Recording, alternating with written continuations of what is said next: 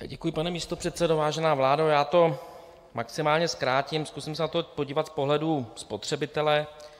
jakožto to se asi ode mě čeká jako předseda podvýboru pro ochranu spotřebitele, budu tady tlumočit názory lidí, kteří se na to dívají zvenku, kteří mají legitimní očekávání a logické otázky, jak je možné, že my jako výrobci elektřiny a čistí vývozci potom tu elektřinu máme jednu z nejdražších, pan premiér tady řekl, že jsme na konci první třetiny, i tak je to docela drahé, když máte komoditu, kterou dokonce vyvážíte, abyste si ji potom kupovali dráž než ty země, které ji od nás nakupují, kromě toho, jak Eurostat ukazuje, v jakém jsme pořadí, v jednu chvíli jsme byli v první trojce, já to rád přepočítávám a pro ty lidi je to o kupní síle, parita kupní síly, tam si myslím, že budeme na bedně v té chvíli, že i ta dražší trochu německá cena energie potom v momentě, kdy oni mají vyšší příjmy, tak to hravě vynahradí, tak je potřeba se také podívat na tu takzvanou energetickou inflaci, to když se podíváte, jak se vyvíjí ta cena těch energií meziročně, a tam jsme v tom meziročním srovnání druhý nejhorší v rámci zemí OECD,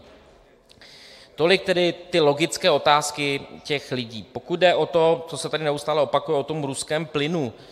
tak já to nebudu prodlužovat, já jsem takový diagram si dal na sociální sítě, s dovolením, kde jsem přesně popsal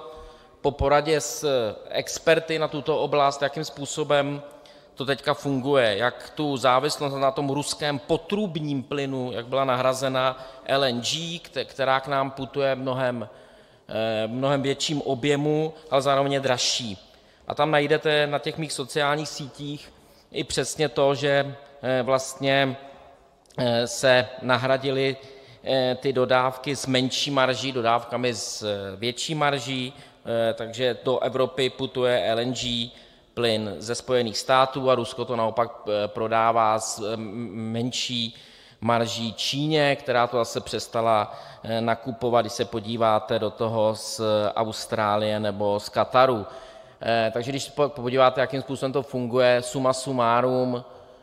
na tom tratná na tom celém příběhu je Evropa, to se na to podívejte, poslední poznámka, fakt to zkracuju úplně maximálně, ceny v roce 2024, to je to, o čem se tady dneska bavíme, no, mně tam vadí, a já mám tady tu čerstvou tiskovou zprávu z Energetického regulačního úřadu, kde ten nárůst tedy není o 71,03 %, ale o 65,7 ta neregulovaná složka tvoří 40 % ceny energií, tak mně tam na tom vadí to rozhodnutí vlády, které souvisí s tím státním rozpočtem, který jsme tady probírali, to, že za mě ten postup měl být takový, že vláda měla počkat, až se ta cena elektřiny a plynu ustálí, až klesne, já neříkám, že na předválečnou úroveň, ale až klesne, ustálí se, a teprve poté uvažovat o tom, jestli tam vrátit ten poplatek za obnovitelné zdroje a distribuci, či nikoliv, ne teď, v momentě, kdy ta cena trošičku klesla, tady je nějaká predikce z 5 300 bez DPH na 4 205, problém ale je, co udělat s těmi lidmi, kteří to měli zafixované, měli to zafixované před tou krizí, tak těm to skočí nahoru, a ty, co to zafixovali v době té krize,